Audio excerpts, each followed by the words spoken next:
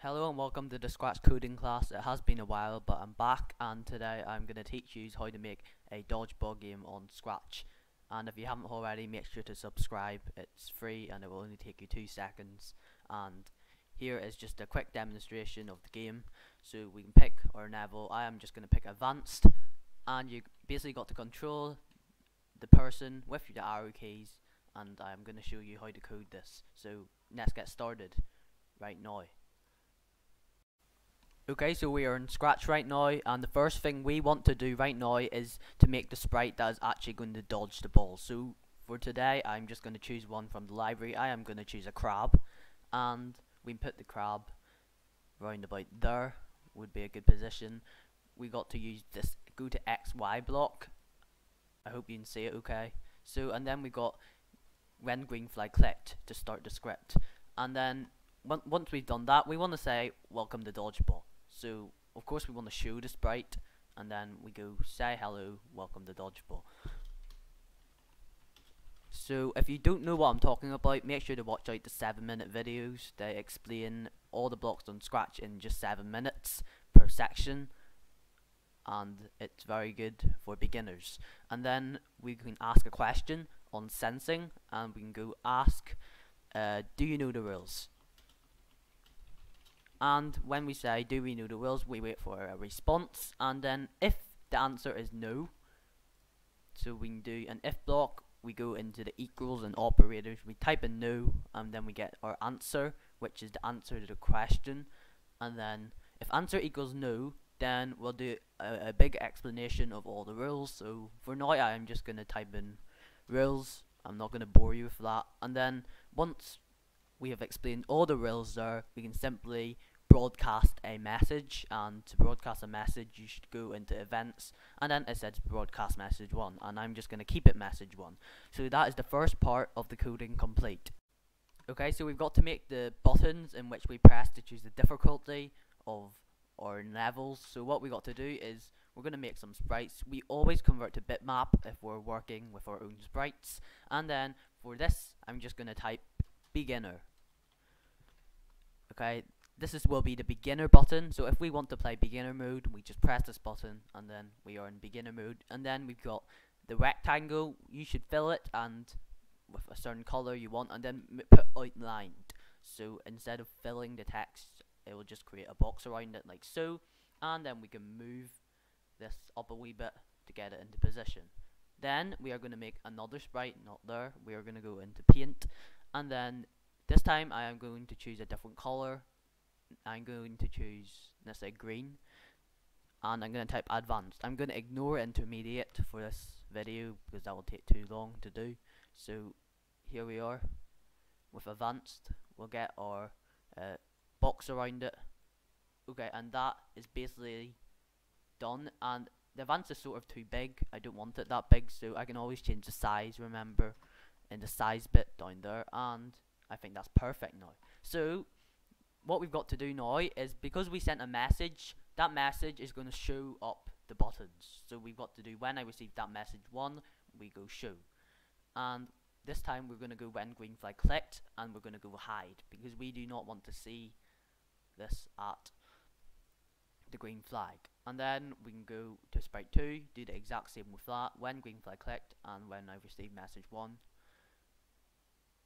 and then hide and then shoot. So if we start the game right now, just to test it, hello and welcome to Dodgeball, I know the rules, this pops up.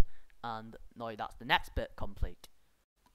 Okay, so next we have got to give these buttons a function, so that when the user presses them, the level will activate. So we've got when the sprite clicked, and then we're going to broadcast a message called beginner. If you do not know how to create a message, it's simply you go into new message, and then it will ask you for your message name, and you just type that in.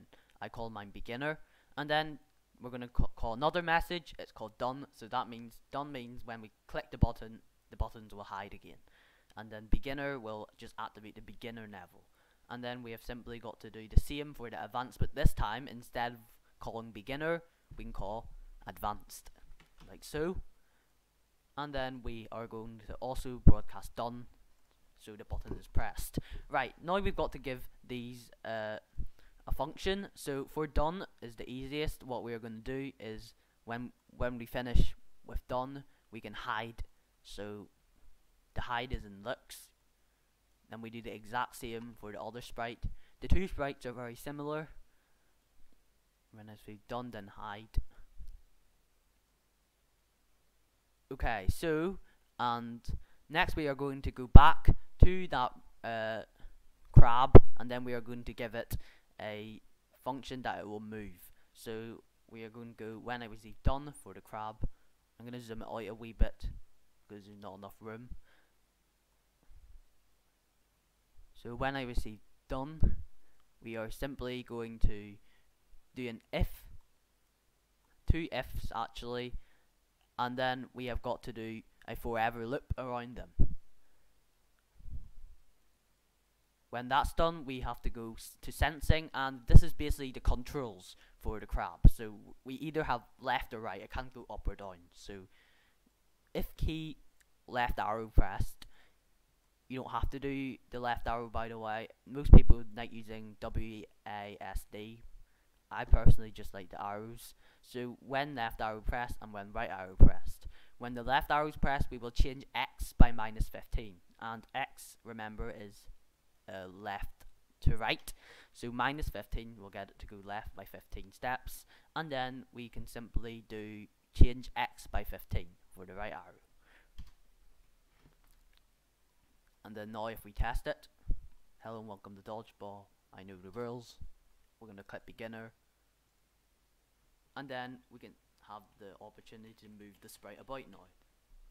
And the sprite will reset to its original position when we press the green flag again. And this is the next part done. Okay, so now we are going to code the sprites that are going to fall onto the crab, and the crab's got to uh, dodge them. So in the last one, I think I did a basketball. I'm going to do a beach ball. It doesn't matter. You can choose whatever you want. Okay, we are going to go green flag clicked as usual, and we are going to go hide because we do not want to see uh, the ball up in the air when we press the green flag. And then we've got to go to a random position. So it's let me see go to random position is there. And then we set X no set Y Y is up and down to 180 and that's just basically going to uh, put the sprite up high in the air and at a random position ready to fall. So we can attach that to our very simple script right the next thing we have got to do is we've got to use that beginner function that we just created. So we'll go when I receive beginner. So the when I receive block is right there. And this is going to be the beginner ball. When I receive beginner. And then after we receive beginner, we're going to wait one second. Because we want to give a bit of delay. And then we're going to show it. So that means the user can see the sprite. And then we are going to go repeat until touching referee. In my case but in this case it's the crab so there's a repeat until here. Then we got a touching block and touching the crab. Repeat until touching crab and then we got to change the y by minus 5 so that's basically going to uh, get the sprite to fall down. You can speed it up. I will show you if you want to speed it up, you can do minus 10, and in advance in that case, I do minus 15. So we're just going to stick with minus 5 because it's beginner, and then if Y position is less than 160, so we've got to go to event, no control I mean, and then Y position is less than, this is the less than block, and then there's Y position there, and we're going to go minus 160. Then, if it's less than minus 160, we can go to a random position again and then set the y to 180, like so. So this should be the script, watch it, it falls, and then it touched the crab, so that's it. Okay, and then after this, we are going to do a stop all block at the end. Because when it touches the referee, the whole script is over, you lose. So there's stop all. And then we got to duplicate the sprite about three times I did in the other one. I am going to duplicate it like so. And then that's three times, they all have the exact same script. Right, that's that part done. Okay, so I've done a couple of things. So firstly, I've made the tennis balls, and all you need to do is just change beginner to advanced, and then you've got to change the Y speed to minus 15. The second thing I did was create a variable. You can go into variables here, and I just simply renamed my variable by doing that. You can rename your variable.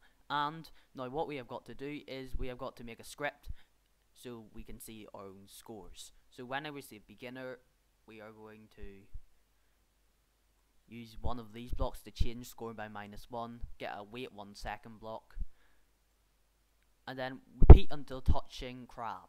So the repeat is here, and, and then touching crab. And that is the script for the beginner. And we also want to set the score to 0 at the start of the game. So we want to do when green flag clicked, set score to 0. And I don't know, but you probably want to hide the variable score so you don't see it until we uh, go to beginner and show the variable score. And every one second the crab survives, the score goes up by one. Right, we are going to do the exact same with the advanced, but this time we are going to do whenever save advanced, then we are going to do a repeat loop, and then we are going to do the touching crab and sensing. Then after we do that, we can uh, change our score by one, but this time it's got to survive three seconds. So, so it's got to survive three seconds to get one point. In beginner, just needs to survive one second to get one point. point, and this does make the game a bit more challenging. And if you want to make the game a bit easier, you can do like 2 seconds or something. I'm just going to keep it 3 seconds for now. Okay, now, now that's finished. We can move on to the next part. Okay, so I have also put the show variable score in advance. I forgot to say that earlier. So now we can actually test the game. It should be working. Hello and welcome Dodgeball. You know the rules. Yes. Okay, I am just going to click beginner because I want to show you how this works. So we simply move the sprite, like so, trying to dodge the balls. The balls can spawn randomly, and the score keeps going up, as you can see, every second I survive. You can go through the end like that, you can fix that. And then if we touch the ball, the game ends. And that's how it works. Now, that fix, you see the crab can go to the end, and we don't want that to happen. So we can do this simple. If we go if x position, the x position is left to right is I think it's greater than.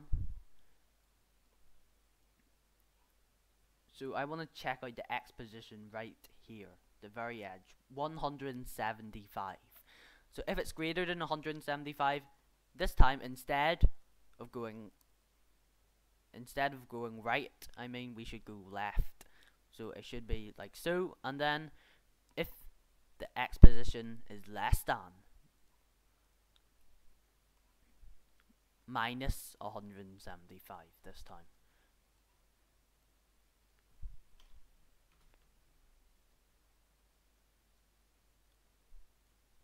And then we can change the x by 15. So we're basically doing the reverse if if we're going to the edge of the map and we should hopefully find out if it works. We're going to do beginner again. I can't go to the edge, Nook. I'm stuck. I can't go to that edge either. So that is how you fix the problem. And in case you want me to say advanced, here it is. And I've already died. So, okay, that's it for today's dodgeball game. I hope you enjoyed it. And if you did, make sure to subscribe and leave a like on this video if you uh, like it. And also check out all my other videos on this channel. I do a lot of coding with Scratch videos. So anyway, I'll see you next time. Bye for now.